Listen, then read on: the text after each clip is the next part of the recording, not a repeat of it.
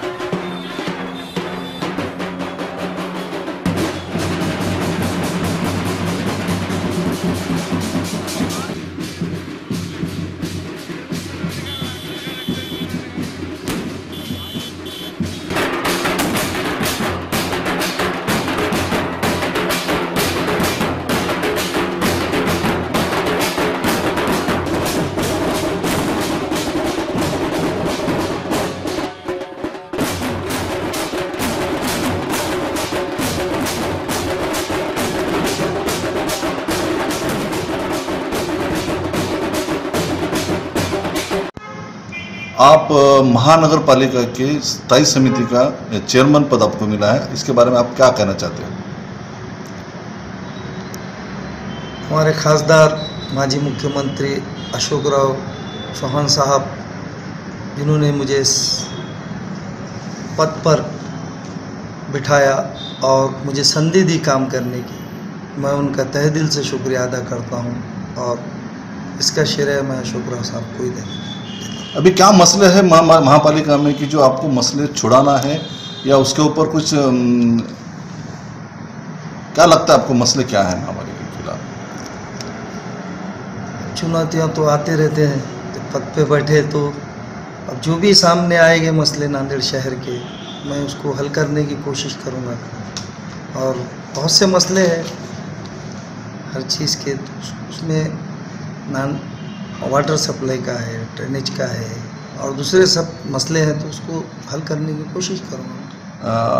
पीर बुरान नगर में पहली बार पिछले 10-12 साल के बाद पहली बार वो एरिया में एक अच्छा अहदा मिला है तो उस नगर के लिए आप क्या करना चाहते हो? पीर बुरान नगर तो ऐसा इलाका है जो जहाँ पर आज से 10-12 साल पहले न कोई सुविधा थी न ड्रेनेज की थी, न वाटर सप्लाई की थी, न रोड्स थे वहाँ पर। लेकिन आज साहब जब मुख्यमंत्री थे, अशोक राव जी चौहान साहब, उस वक्त उन्होंने उस एरिया को 12 करोड़ रुपए निधि दी थी, मुख्यमंत्री थे जब। तो वहाँ पर तकरीबन काम हो चुके हैं। मैं समझता हूँ नब्बे टक के वाटर सप्लाई का पूरा काम हुआ ड्रेनेज के कुछ काम बाकी है, एक दो गली, वो भी हो जाएँगे, वहाँ पे ड्रेनेज का काम हुआ वाटर सप्लाई हुआ दीवा बत्ती हुआ, और एक बहुत भव्य एक रोड जो साठ फीट का ये हुआ और शिव मंदिर से आनंद नगर तक एक बहुत अच्छा रोड हुआ। ट्रैफ़िक भी बढ़ बढ़ चुका है, शॉर्टकट हो गया है लोगों को। चेतन नगर से राज बियर बार कार्नल से ऐसा शहर के अंदर आना लगता था। अब एक शॉर्टकट हो गया, सीधा आनंद नगर, नया मोड़ा लोग वहाँ से शॉर्टकट में अपना सफ़र जारी रख रहे हैं। बहुत सी सुविधाएँ हैं। देखते हैं अभी और कुछ काम बाकी है। कहा जाता है कि राज राजकारण में जो सत्ता गलियारों में जो कोई माँगता है, कोई पीछे पड़ता है तो उसको मिलता है। तो आप तो ऐसा लगता है कि कभी आपने सत्ता के पीछे नहीं लगे और आपको फिर भी ये पद अहदा मिला है तो आपको उसके बारे में क्या कहते हैं? मैं बड़ी खुशी की इस बात की है कि मैं कभी कुछ नहीं मांगते हुए भी साहब ने विशेष ध्यान रखा मुझ पर। और मुझको ये पद देख के बहुत न्याय किया कि नहीं मांगने वालों की भी साहब को नज़र है। और उस नज़र उनकी कभी चुकती नहीं है। वो कभी भी साहब उन पर मेहरबान होते और मेरे साथ भी ऐसा ही हुआ। मुझे मैं कुछ नहीं रख मांगते हुए भी साहब ने मुझे इस बड़े अहदे पर बिठाया। ये बहुत बड़ी बात है कि साहब कार्यकर्ताओं को कभी भूलते नहीं। उनके ध्यान में रहता है सब कुछ। ओके शुक्रिया। पाहत रहा सम्यक न्यूज़ लाईव्ह बातमी पाहण्यासाठी यूट्यूबवर सबस्क्राईब करा